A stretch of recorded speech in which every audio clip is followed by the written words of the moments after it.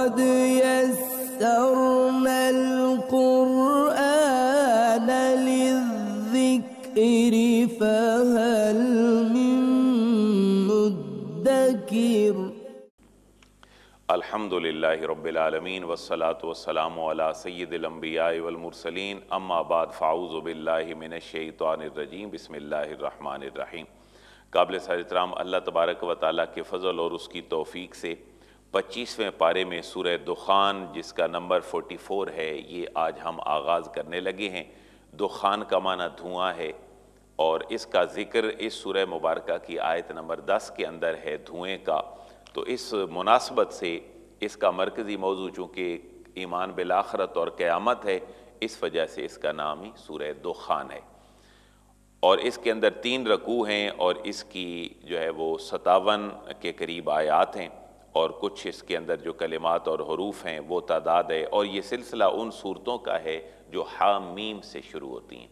हमने गुज्त सूरतों का एक सिलसिला पढ़ा है काफ़ी अरसे से, जिनके शुरू में हामीम आता है। तो हवामीम जो हैं, इनकी बड़ी फजीलत है। हवामीम वो सूरतें हैं जिनके आगाज़ में हामीम हरूफ मुक़त्तात ज़िक्र किए जाते हैं। ये भी उन सूरतों की तरह मक्की है, इसका अपना जो मिजाज है, वो उन्हीं मक्की मजामी को डील करता है, ईमान बिल्ला, ईमान बिल रसालत और ईमान बिल आखरत। बिल्कुल वही बातें यहाँ भी मौजूद हैं। और इसका जो आगाज़ होगा आज सूरत का, वो अल्लाह तबारक व ताली की आसमानी किताबों खसूस कुरान मजीद के ज़िक्र खैर के ऊपर मुश्तमिल होगा। अहल मक्का कुरान मजीद को अल्लाह की नाजिल करदा किताब नहीं समझते थे तो उनको कहा गया कि ये तो किताब अल्लाह की नाजिल करदा है और इसकी अपनी फजीलत का अंदाज़ा तुम इस बात से लगा सकते हो कि जिस रात को ये नाजिल हुई है, उस रात की इतनी बड़ी फजीलत हो गई। तो इसकी अपनी फजीलत कितनी होगी?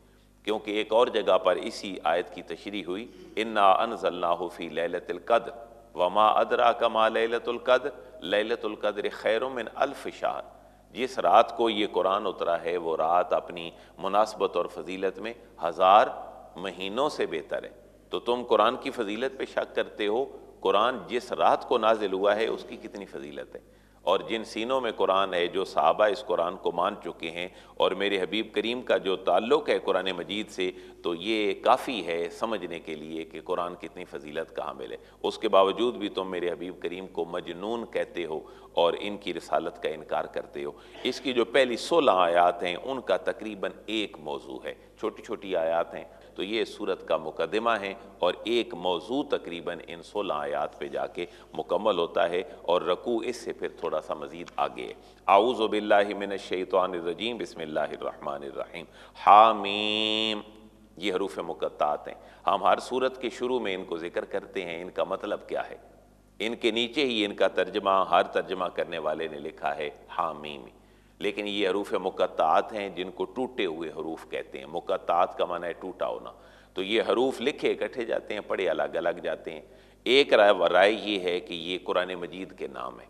एक राय ये है कि ये जिस सूरत के शुरू में आते हैं, ये उस सूरत के नाम है। और इनका मतलब क्या है? वो अल्लाह और उसका रसूल जानता है। तो इस, कुछ ने इस तरफ़ गए हैं कि ये, जो है, वो चैलेंज हैं अहल मक्का को कि तुम कुरान को अल्लाह की किताब नहीं समझते हो। तो तुम, अल्लाह ने ये किताब अपनी जो है वो अल्फ़ाबेट जो कलाम है अल्लाह का, वो अलिफ बाता सा, इन से मिल के बनाए। तो तुम्हारे सामने भी चैलेंज है, तुम भी ऐसी बना दो। इसलिए बाद सूरतों के शुरू में एक एक हर्फ आया है, जैसे नून, बाज़ के शुरू में दो दो आए हैं, जैसे हामीम बाज़ के शुरू में तीन तीन हैं, जैसे अलिफ, लाम, मीम, बाज़ के शुरू में चार चार, बाज़ के शुरू में पाँच पाँच, काफ, हा, या, ऐन, स्वाद, हा, मीम सीन, काफ। तो ये हरूफ से मिल के जो है वो लफ्ज़ बनते हैं और अल्फाज से जुमले बनते हैं। अल्लाह फरमाते तुम भी बना के दिखा दो इस जैसी पुरतासीर किताब। तुम आजिज़ हो, ऐसी किताब नहीं बना सकते हो। वल किताब अलमुबीन और कसम है उस किताब की अलमुबीन जो हक को वाजे करने वाली है। मुबीन इसमें फ़ाइल का सीगा है और इसी से बयान निकला है। बयान में चीज़ें वाजे होती हैं। वल किताब मुबीन, और कसम है इस किताब की जो हक को वाजे करने वाली है। इन्ना अनजल नाफी लत मुबारक, इन्ना बेशक हमने ही अनजल नाहू इसको नाजिल फरमाया है, फ़ी लत मुबारक बरकत वाली रात में। तो इन्ना अनजल नाहू वाला जो लफ्ज़ है, ये अहल मक्का के एक शुबे और उनके दावे का बुतलान है। वो कहते हैं, किताब मोहम्मद ने खुद बना ली। अल्लाह फरमा रहे नहीं अनजल ना हो हमने इसको नाजिल किया। तो किताब के नजूल को और किताब के कंटेंट्स को अल्लाह तबारक वाली ओन फरमा रहे ये मेरी किताब है। फ़ी लहलत मुबारक का इसको एक बाबरकत रात में हमने नाजिल किया और वो बाबरकत रात लहलतुल्कदर है। बाज़ लोगों ने इस रात से मुराद शाबानमज़म की पंद्रहवीं रात ली है।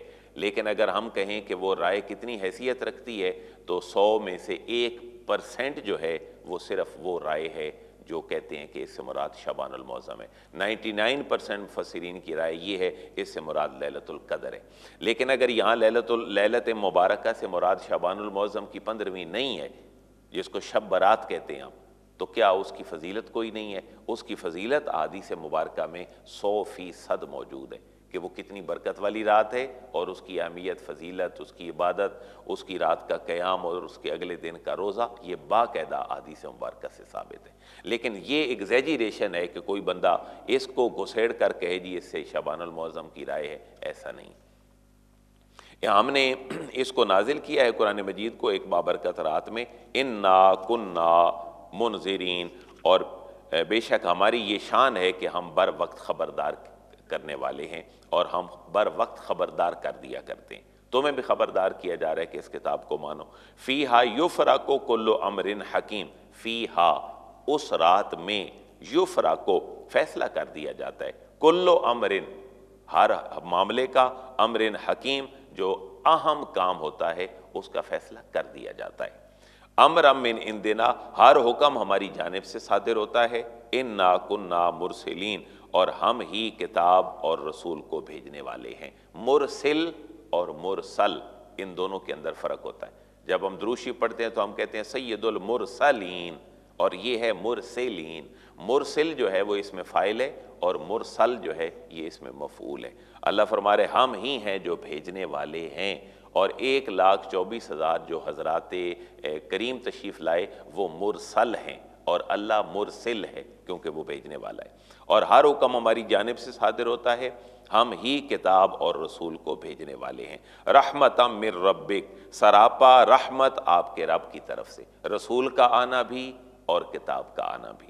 इन हुआ समी अलीम, बेशक उस अल्लाह की शान ये है इन बेशक वो, होवा वो ही, ये हु और होवा दोनों थर्ड पर्सन जो है वो प्रोनाउन है, लेकिन ताकीद के लिए आए। इन न हो बेशक वो, होवा वो ही। असमी सब कुछ सुनने वाला अल अलीम सब कुछ जानने वाला है। अब साथ साथ किताब की शान बयान हो के, जो ईमान बिल किताब है, उसके साथ ही ईमान बिल्ला और अल्लाह की कुदरत का तस्करा शुरू हो गया। रब समावत वल अर्द, वो रब कौन है? क्या अहल मक्का की तरह बनाया हुआ हर कबीले, हर मौसम और हर ख्वाहिश का अपना खुदा? नहीं रब समावत। ये उस रब की बात है जो समी अलीम है, जो रब है आसमानों का, वल अर्द और ज़मीन का। वमा बे न हुमा और जो कुछ उनके दरमियान है, वो उनका भी रब है। इन कन तुम मुकिन लेकिन इस ईमान और यकीन के तस्वर को अपनाने के लिए तुम्हारे अंदर ईमान और यकीन का होना ज़रूरी है। इन न, इन कन तुम इन अगर कन तुम तुम हो मुकिन यकीन रखने वाले और ईमान रखने वाले।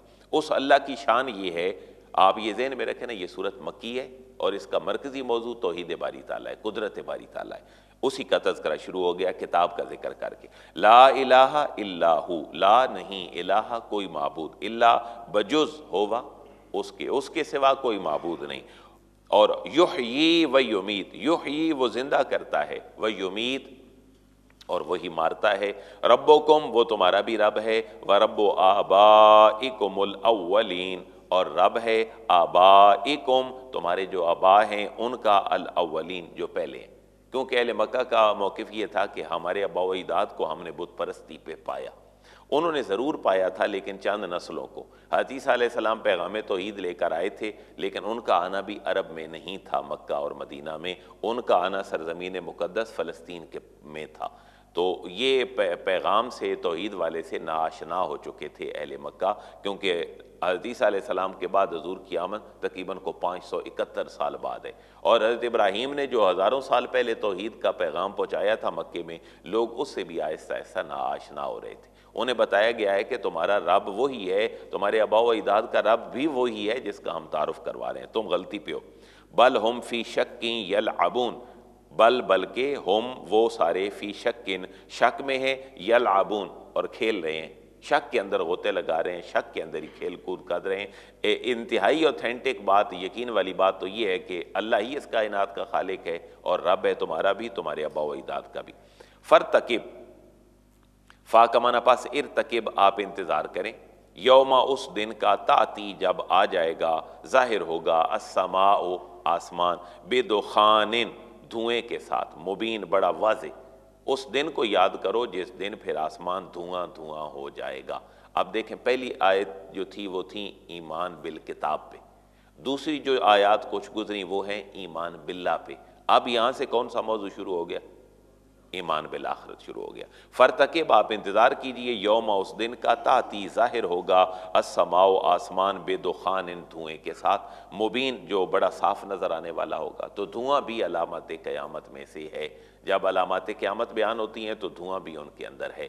जैसे दजाल का आना हरत सलाम का आना और जनाब मादी अलैहिस्सलाम का आना, ये धुआँ दाबतुल्लात ये सारी अलामत क़्यामत हैं। उस दिन का इंतज़ार करो, जो दिन अपनी पूरी अलामत के साथ आएगा।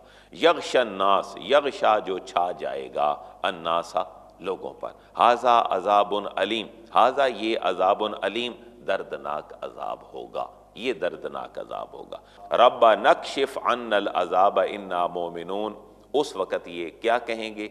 रब्बा ना ए हमारे रब, एक शिफ खोल दे। इसी से निकला है कश्फ और इसी से निकला है किताब। कशफुल महजूब, यानी छुपी हुई चीज़ों का खोलना। उस वक़्त ये कहेंगे अल्लाह से कि अल्लाह आप दूर कर दे सारी जो आलाइशें। लेकिन मानी नहीं जाएगी। मानने का वक़्त तुम्हारे पास इस दुनिया में है। और अब्बा ना उस वक़्त कहेंगे ए हमारे रब, एक शिफ तू खोल दे दूर कर दे। अन्ना हम से अजाबा, ये अजाब। इन्ना मोमिनून, और हम तो ईमान ले आते हैं, हम अभी ईमान ले आते हैं, अल्लाह हमसे ये अजाब दूर कर दे। लेकिन अब क़यामत आ चुकी होगी और आने के बिल्कुल करीब होगी। लिहाजा अब तुम्हारा ये जो रुजू है, अल्लाह और उसके रसूल की तरफ़ ये काबिल कबूल नहीं है। इसलिए फ़ौर करो, जो करना है। अन्ना लहमज़िक्रा उनके, उनकी नसीहत कबूल करने की उम्मीद कहाँ? अन्ना, कहाँ हो लहम उनके हवाले से अजिक्रा, नसीहत कबूल करने की बात? कैसे हो? वक़द जा अहम रसूल मुबीन। वाओ कमाना और यहाँ पर हाल हाल कमाना दे रहे हालाँकि इनके नसीहत कबूल करने की उम्मीद कैसे की जा सकती है? रसूल मुकरम तो इनके पास है, और किताब भी इनके पास है, मक्के के लोगों के पास। ये फिर भी तोहहीद परस्त नहीं है, शिर के अंदर मुबतला है। वाकद हालाँकि कद जा आहोम इनके पास तशीफ ले आया है, ला चुका है रसूल मुबीन। एक रोशन और वाज रसूल इनके पास आ चुका है। सुम्मत अन हो वकालू मुअल्लम मजनून। देखें नबियों को किस किस तरह के बात बात के जुमले सुनने का जो अल्लाह ने मौका भी दिया और अल्लाह ने उनके ऊपर उन्हें सब्र भी दिया। इतनी दर्द भरी और शफकत भरी बातें करने के बाद रसूल को जवाब क्या मिलता है? सुम्मा तवल्लो अन हो सुम्मा फिर तवल्लो, उन्होंने मुँह फेर लिया। अन हो वो आपसे। आपकी तालीमत से अहल मक्का ने मुँह मोड़ लिया। वकालू, और उन्होंने कहा कहा क्या? मुअल्लमुन, मजनून। मुअल्लमुन, ये तो बड़ा सिखाया पढ़ाया गया बंदा है, और मजनून, और माजल्ला ये तो दीवाना है। इसकी बातें ना सुनो, और जो बातें हमारे माशरे के अंदर राइज हैं, उन्हीं बातों को सुनो। आप ज़रा अंदाज़ा फरमा लें, अहल हक की, नसीहत की बातों को मुआशरा कैसे रिस्पॉन्ड करता है? ये कुरान की कती दलील हमारे सामने। इसीलिए नबी पास वसलम को पत्थर भी पड़े हैं ताइफ में। हक की बात कही है। लिहाजा हक बात करने वाले के सारे दोस्त नहीं होते। जिसके सारे ही दोस्त होते हैं, वो हमारे बुज़ुर्ग ये फरमाते हैं, वो मुनाफिक है। क्योंकि वो हर एक की लिगी लपटी बात करता है। जो हक है, उसके अंदर लोगों को, उसको, लोगों की मुखालफत का सामना करना पड़ेगा। जैसे नबी पाक सलाम को फरमाया गया मुअल्लम ये सिखाया गया है। और अपने किसी ख़ास मिशन पे और मजनून, और ये तो दीवाना है। ये नबी पासम के लिए दोनों बातें।